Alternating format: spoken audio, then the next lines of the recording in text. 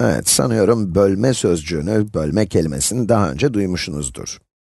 Bölmek, bölünmek, bölüşmek, değil mi? Bölmek, bir şeyi kesmekle ya da kesip ayırmakla aynı anlamda. Bölme sözcüğünü yazayım şöyle. Bölme.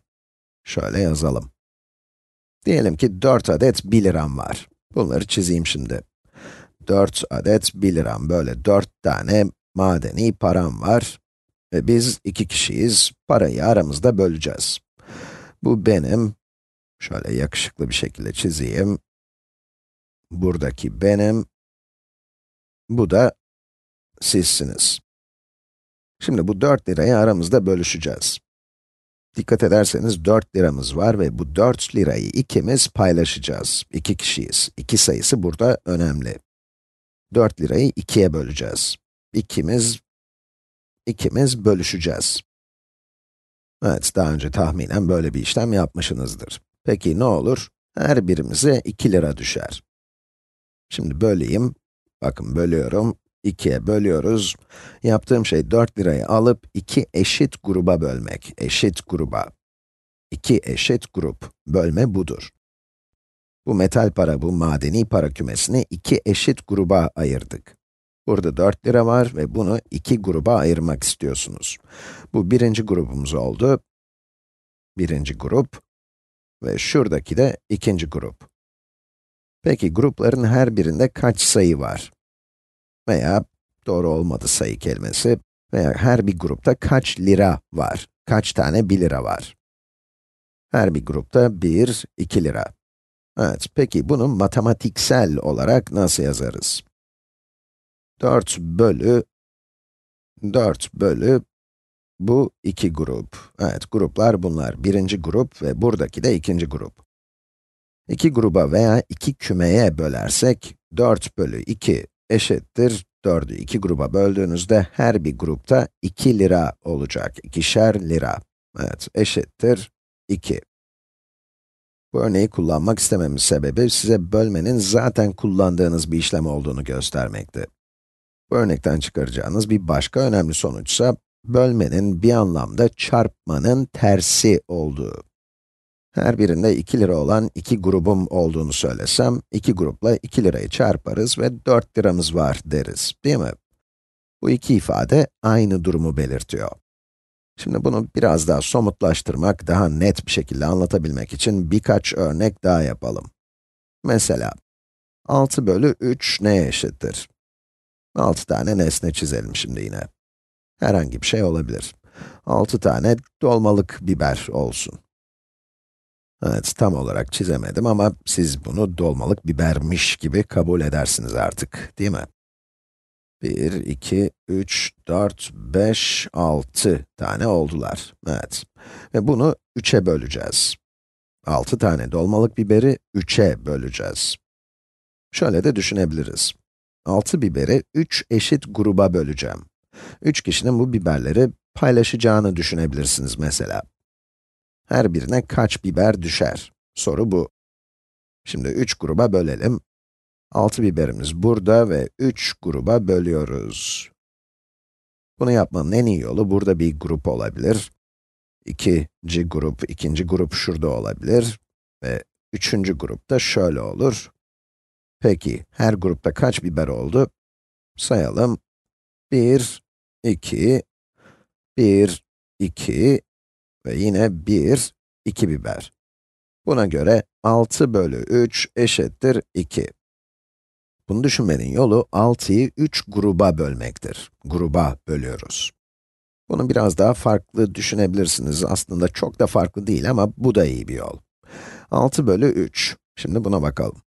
Bu sefer dolmalık biber olmasın, ahududu kullanalım. Framboaz kullanalım. Çizmesi daha kolay dolmalık bibere göre.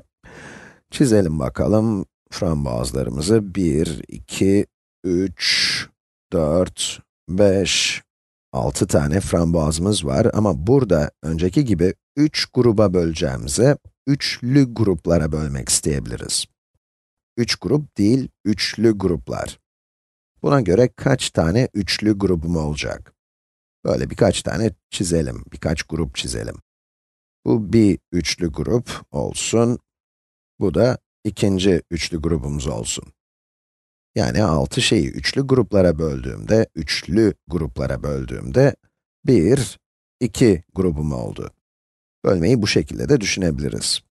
Bu iki ifadeye dikkat ederseniz, 6 bölü 3 ve 6 bölü 2 arasında bir bağıntı var. Alakalı bunlar. Şuraya yazayım. Buradaki bağlamda 6 bölü 2 nedir? 6 bölü 2. Önce çizelim, hemen. 6 bölü 2, 1, 2, 3, 4, 5, 6. 6 bölü 2'yi iki gruba bölmek olarak düşündüğümüzde şöyle bir grup ve böyle bir grup elde ettik. Değil mi? Ve her bir grubun üçer elemanı var. İçinde 3 şey var. Yani 6 bölü 2 eşittir 3. Veya başka bir şekilde de düşünebiliriz. 6 bölü 2 için 6 nesne aldığımızı düşünelim. 1, 2, 3, 4, 5, 6 ve bunu iki elemanlı gruplara ayıracağız. Her grupta iki eleman olsun. Bu bir anlamda daha kolay bir işlem. Her grupta iki eleman varsa, bu bir gruptur. Sıralı olmaları bile gerekmez. Şu da bir grup olabilir. Ve şuradaki de bir başka grup. Yalnızca ikili gruplara bakıyorum. Kaç tane grubum oldu? 1, 2, 3. 3 grubum var. Ama dikkat ederseniz 6 bölü 3'ün 2'ye ve 6 bölü 2'nin 3'e eşit olması rastlantı değil. Bunu yazayım. 6 bölü 3'ü 2 olarak bulduk ve 6 bölü 2'yi de 3 olarak bulduk. Bu 2 ve 3'ü değiş tokuş edebilmemizin, yani 2 ile 3'ün yerlerini değiştirebilmemizin sebebi 2 çarpı 3'ün 6'ya eşit olması. Diyelim ki 2 adet üçlü grubumuz var. 2 tane üçlü grup çizeyim. Bu birinci üçlü grup, şu da ikinci üçlü grup. İki üçlü grup eşittir 6. Veya diğer bir şekilde düşünebilirsiniz. 3 tane ikili grubumuz varsa, bu bir ikili grup. Şurada bir ikili grup daha var. Ve burada da bir ikili grup daha. İkili grup. Evet, bu neye eşittir? 3 tane ikili grup, 3 çarpı 2 demek. Bu da 6'ya eşit. Yani 2 çarpı 3 eşittir 6, 3 çarpı 2 eşittir 6. Çarpma videosunda sıranın önemli olmadığını görmüştük. Önemli değil, sıralama önemli değil. Bu nedenle bölmede yerlerini değiştirebilirsiniz. 6 şeyiniz varsa ve ikili gruplara bölmek isterseniz 3 elde edersiniz. 6'yı üçlü gruplara bölerseniz 2 elde edersiniz. Evet, çok güzel. Birkaç örnek daha yapalım ve bölmenin mantığını iyice kavrayalım. İlginç bir soru yapalım şimdi. 9 bölü 4. 9 bölü 4'ü düşünürken yine 9 nesne çizeceğim. Çizelim. 1, 2, 3, 4, 5, 6, 7, 8, 9. Bu soruda 4'e bölerken dörtlü gruplara ayırmayı düşünüyorum. Bunu yapmaya çalışalım. Burada bir dörtlü grubumuz var. Böyle herhangi bir dört taneyi seçtim. Bu bir dörtlü grup. Burada başka bir dörtlü grup daha. Şuradaki. Ve burada bir şey kalıyor. Değil mi? Nesnelerden bir tanesi açıkta kaldı. Buna kalan diyelim. Bunu dörtlü gruba koyamam. Dörde bölerken 9'u yalnızca iki dörtlü gruba ayırabilirsiniz. Buradaki cevap belki sizin için yeni bir kavram olabilir. 9 bölü 4, iki grup olacak. Bir grup burada ve bir başka grup da şurada. Bir de bir kalanı var. Bir kalanı, gruba giremiyor bu arkadaş. Kalan 1. 9 bölü 4, 2, kalan da 1. Peki, şimdi 12 bölü 4'ü soruyorum. 12'yi çizelim. 12'yi çizelim. 1, 2, 3, 4, 5, 6, 7, 8, 9, 10, 11, 12. Bunu yazayım. Şimdi 12 bölü 4. Yani bu 12 nesneyi, bunlar belki elmadır, belki eriktir, belki zeytindir, dörtlü gruplara bölmek istiyorum. Bakalım bunu yapabilecek miyim? Burada bir tane dörtlü grubumuz var. Burada başka bir grup daha var. Bayağı kolay bu değil mi? Sonra üçüncü bir dörtlü grubumuz daha var. Aynen böyle. Ama daha önce olduğu gibi, yani bir önceki soruda olduğu gibi kalan yok. 12 nesneyi 3 adet dörtlü gruba tam olarak bölebildik. 1, 2, 3 tane dörtlü grup ve kalan yok. Yani 12 bölü 4 eşittir 3. Bir önceki videoda gördüğümüz alıştırmayı yapabiliriz. 12 bölü 3 nedir peki? Bir önceki videoda bu vardı. Öğrendiklerimize göre bunun 4 olması gerektiğini biliyoruz. Çünkü 3 çarpı 4 eşittir 12 ama bunu ispatlayalım. 1, 2, 3, 4, 5, 6, 7, 8, 9, 10, 11, 12. Şimdi bunu üçlü gruplara bölelim. Bunu biraz garip böleceğim ki her zaman böyle güzel, düzenli sütunlara ayırmanız gerekmediğini görün. Burada üçlü bir grup var. Şöyle bir grup yapalım. 12 bölü 3 dedik. Bakalım şurada da bir üçlü grup daha var. Ve sonra bir başka üçlü grup daha burada var. Evet, bu üçlü grubu da alalım. Evet, eminim bunu bölmenin bu garip şekilli şeylerden daha kolay bir yolu vardır. Ama bunun size fark etmediğini, fark yaratmadığını göstermek istiyorum. Üçlü gruplara ayırıyoruz. Birinci grup burada. İkinci grup da şurada. Ve üçüncü grup da burada. Ve dördüncü grubumuz da burada. Evet, böylece tam dört grubumuz oldu. Bölmenin daha kolay bir yolu varken, şöyle 1, 2, 3, 4 gruba ayırabiliriz. İki türlü de 12 nesneyi üçlü gruplara bölüyoruz. Bu şekilde düşünebilirsiniz. Evet, hadi bir tane daha kalanlı örnek yapalım, kalanlı. Bakalım. 14 bölü 5 nedir? 14 bölü 5. Şimdi 14 tane nesne çizelim.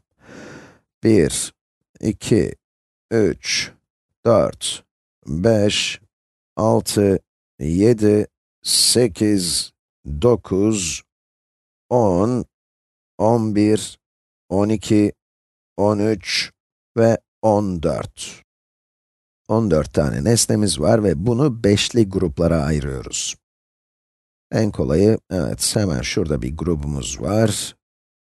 Buradaki ikinci grup. Sonra, evet sonra ne oldu? 4 tane arttı. Bir beşli grup daha çıkmadı.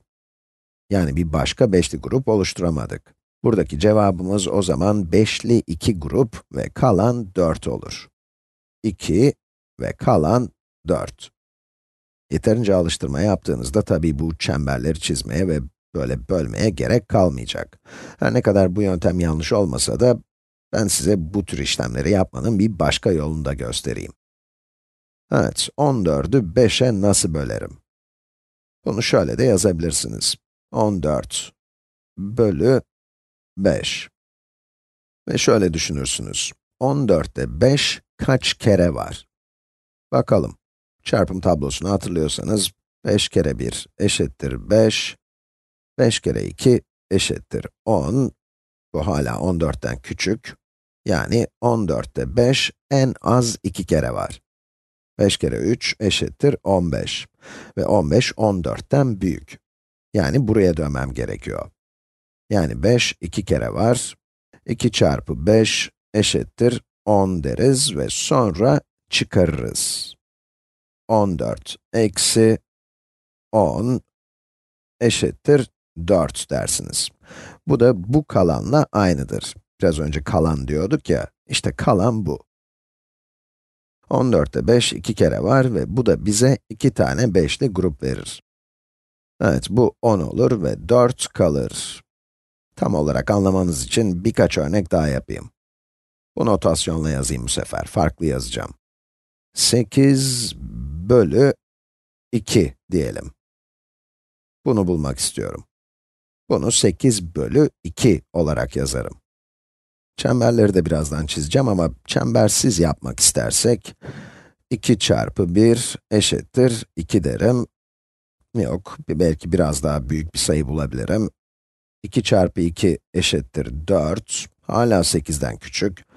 2 çarpı 3 eşittir 6, hala 8'den küçük. Ama 2 çarpı 4 tam 8'e eşit. Buna göre 8'de 2, 4 kere varmış. Veya 8 bölü 2 eşittir 4 dedik. Çemberlerimizi de çizebiliriz. Bir de böyle yapalım. 1, 2, 3, 4, 5, 6, 7, 8. Şimdi bunu ikili gruplara böleceğiz. İkili gruplar. Birinci grup, ikinci grup, üçüncü grup, dördüncü grup. 8 nesneyi ikili gruplara ayırdığınız zaman 4 grup oluşuyor.